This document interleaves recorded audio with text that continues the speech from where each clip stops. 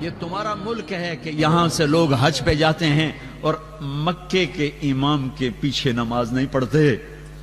مدینے کے امام کے پیچھے نماز نہیں پڑھتے۔ وہ کہاں سے؟ جہاں سے اسلام آیا تھا۔ ان کو ہی تم نے کافر بنا دیا۔ تو اسلام پھر ہے کہاں؟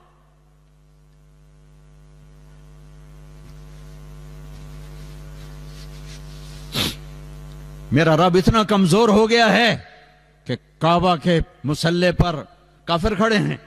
مدینہ مسجد نبوی میرا نبی اتنا کمزور ہو گیا ہے کہ ان کے مسلح پر کافر کھڑے ہیں۔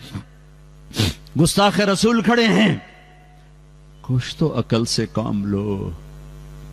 کچھ تو روکو ان لوگوں کو جو یہاں تک تمہیں پہنچا رہے ہیں۔ کچھ تو دین سیکھو۔ کچھ تو دین سیکھو۔ اتنے غافل تو نہ بنو۔